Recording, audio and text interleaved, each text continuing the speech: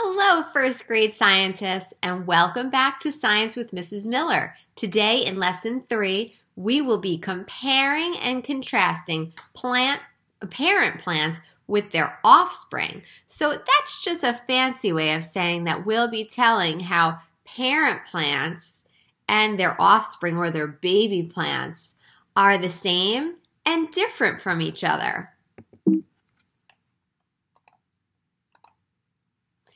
Do you remember in our last lesson how we talked about how traits can be inherited from your family members?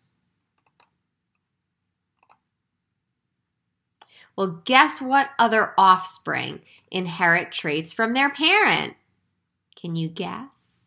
What are we talking about today? You guessed it, plants. That's right. You know, this really blew my mind to think about. I I don't I have a confession to make. I don't really have much of a green thumb. That means I'm not really the best at growing things. But this summer, I really started to get into a little bit of gardening. And I bought myself a tomato plant.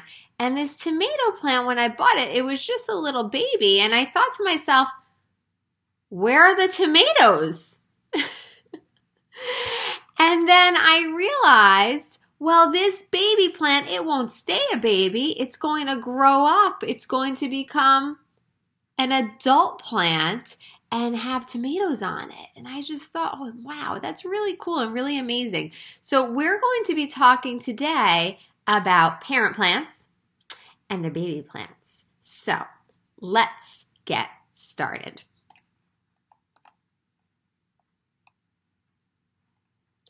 I have a video that I would like for us to watch. It's called Plant Parents and Their Offspring.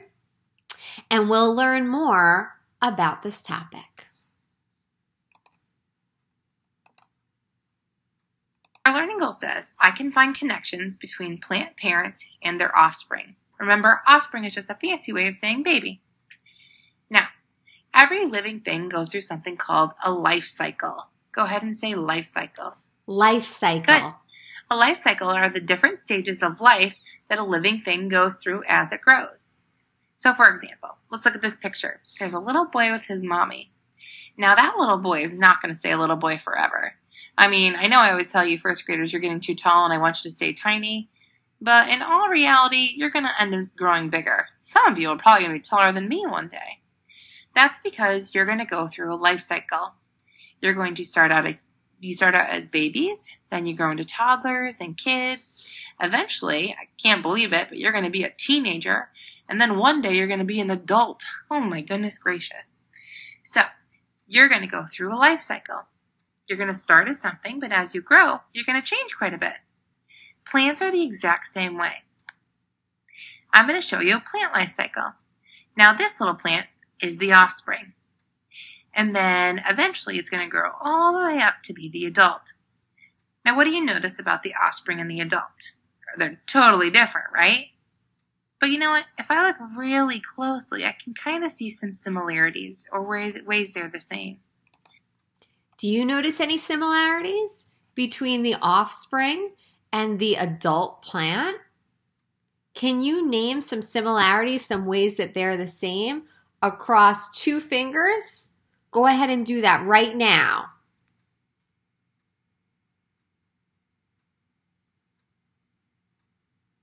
Okay, let's hear what she has to say. I think the seed and the roots are the same, but also, you know, those long leaves are in both of them, and they're about the same color. Now watch what happens when we take a look at all the different stages of this plant's life cycle. Wowza. Now, do you see, if you get your finger on the offspring and you go all the way up to the adult, what do you notice is happening? Yeah, the leaves are getting longer. What else? The flower starts to grow. Yep, and then it does open up until it gets nice and tall and the flower is in full bloom. Now, even though the offspring doesn't exactly look exactly like the adult, I can still tell that they're related because they have a lot of things in common. But how do I know other plants are related? This one I know because I told you. And also the whole life cycle is in one big long row. But I was going to walk out in the woods. I want to see the whole life cycle. I just see parts of it. So I need to know how I can tell. So how do you know? If I saw these little buds, I would have no idea what plants they went to. But there are different things we can look for.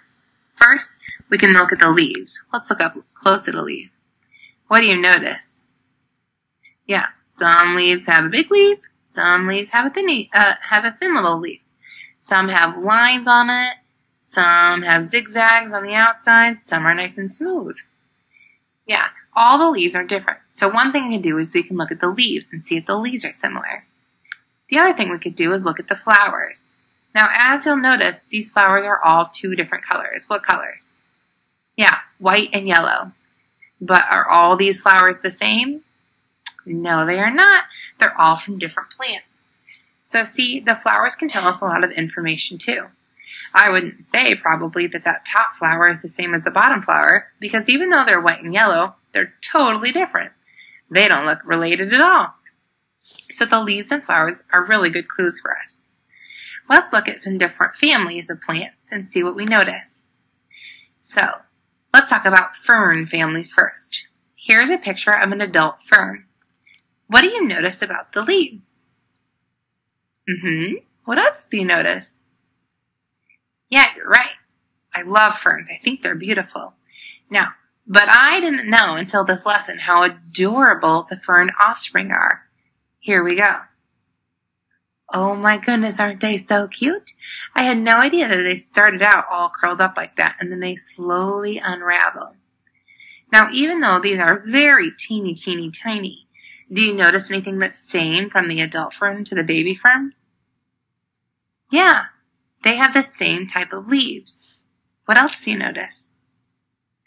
Yeah, do you see how it looks like it has one big long stem in the middle and then a whole bunch of little leaves coming off of it? That's the same thing as the adult fern. Perfect. So in this case, the leaves are really similar, and that's going to help me know that they're related. What about conifer families? Now, a conifer is anything that has like a needle type leaf, kind of like the needles on, on a Christmas tree. So here's an example right there. If you had to describe these leaves, what would you say? Agreed, they're long and pointy. Let's look at some conifer babies. Yeah, that's a little seedling of a conifer. What do you notice? Perfect. How are they the same, friend? They're both green and their leaves are both long needles. Good job. So that'd probably be my good guess that that's in a conifer family. Now I just want to show you one more picture because I thought this little seedling was so cute. That's a sprout a seedling just as it's coming up. Now what would make you guess that that is part of the conifer family? Yeah, look at those long needle leaves are already growing, even from that first shoot. Pretty cool. Our learning goal says that I can find connections between plant parents and their offspring. And that's what we've been doing. So it's your turn. I want you to go ahead and seesaw your teacher.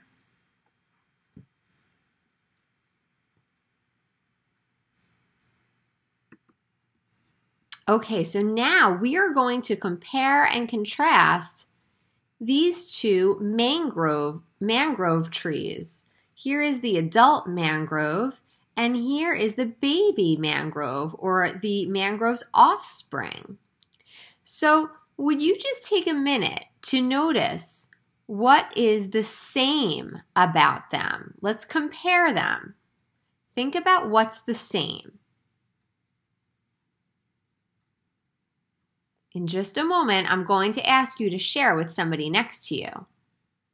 I want you to share three things that are the same between the adult and its offspring. Okay, I'm going to set the timer. See if you can name three things that are the same. Ready, set, go.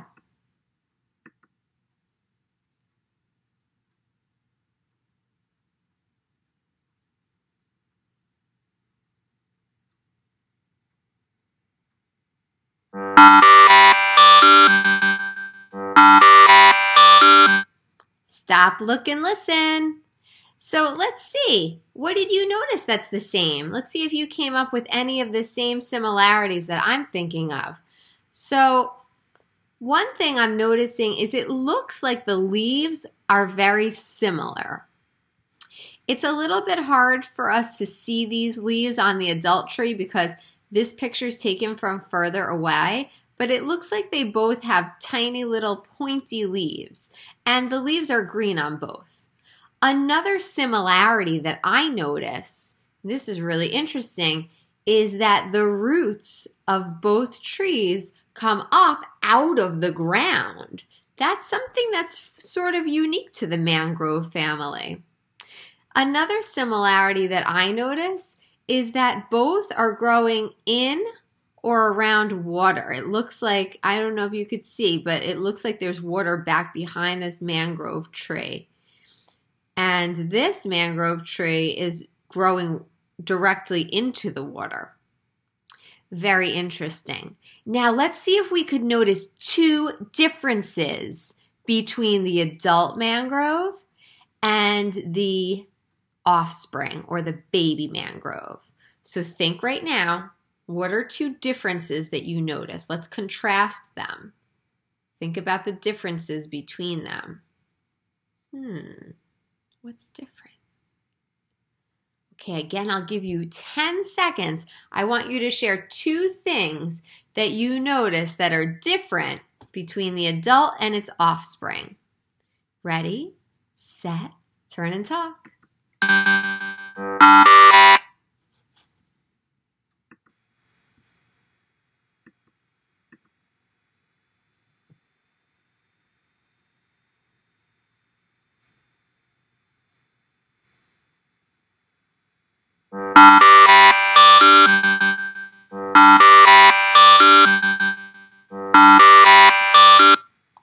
Right, time's up. One, two, three, eyes on me.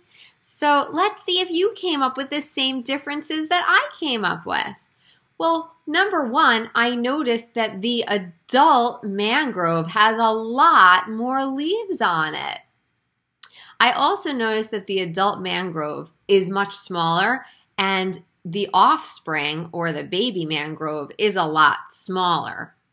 Something else that I noticed that's different is the color of the trunk and the color of the the color of the trunk and the color of the roots. So both the trunk and the roots in the adult mangrove look brown, where the trunk and the roots of the offspring or the baby mangrove have like a reddish tint.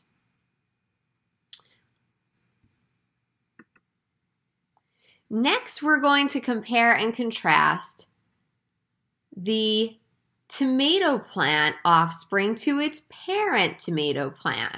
So I mentioned earlier in this lesson that I had bought myself a baby tomato plant at the beginning of the summer, maybe more towards the spring actually. And this is what it looked like when I first bought it from the shelf. But now it looks more like this. So let's compare them. What's the same between them? I'm going to give you 15 seconds to name as many things as you can. What do you notice that's the same between the baby tomato plant and the adult tomato plant? Ready, set, turn and talk.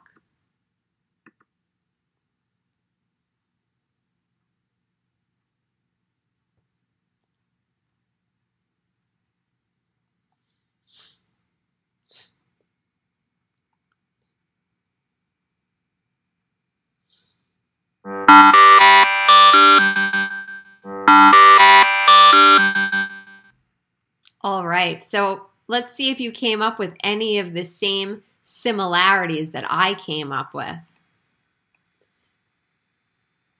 I noticed that their leaves look very similar to each other. So their leaves are both green and they both have like pointy edges. Did you notice that too? Something else that I noticed that's the same is their their stem. So the stem of the of the offspring looks like it's rather thick, doesn't it? And so does the stem of the adult tomato plant. Now, something else that's sort of hard to see from these pictures, but I'm going to tell you I observed in my own tomato plants at home is that the stem, see how it has like this little fuzz on it? The baby plant has sort of this fuzz. Well, the adult tomato plant also has that fuzz on it. Very interesting. Now let's notice how they're different. So again, I'll give you 15 seconds to notice as many differences as you can. Ready, set, turn, and talk.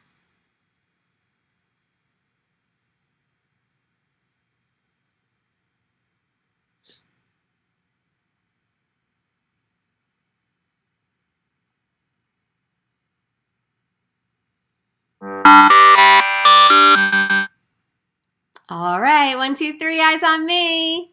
So, did you notice their differences too? Well, one obvious difference is that the baby tomato plant doesn't have any tomatoes on it. It doesn't have any fruit yet. Where the adult tomato plant does have tomatoes on it. Did you know that tomatoes are a type of fruit? They are, in fact. A lot of people think that they're vegetables, but tomatoes have seeds inside of them, so that makes them fruit. What's another difference that you noticed?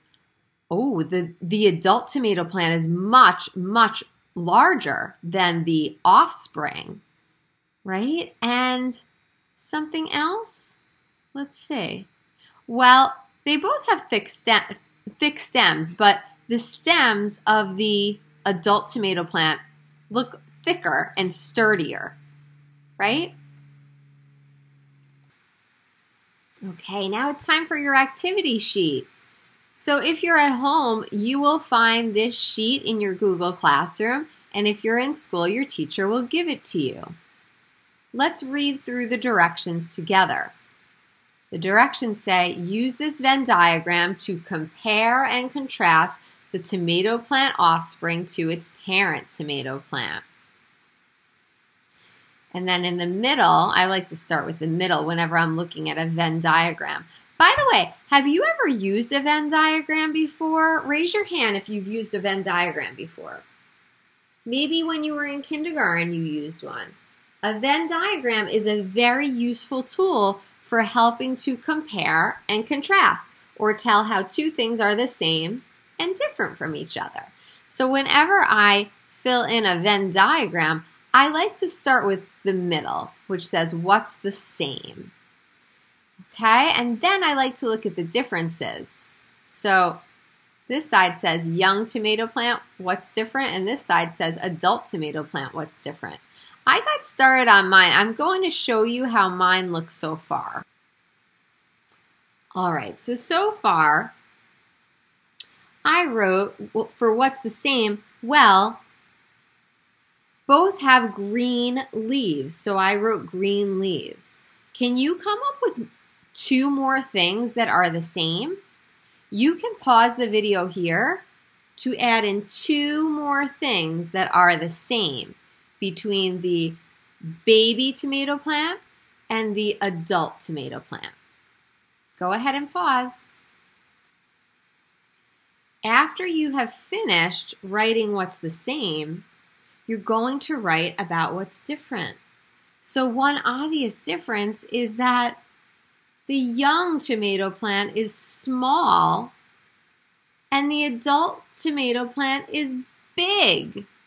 Can you come up with two other differences between them? Okay, you can go ahead off to do that, and I will be seeing you next time in science. So keep up the great work, everybody. It was so much fun learning with you today. Enjoy your day.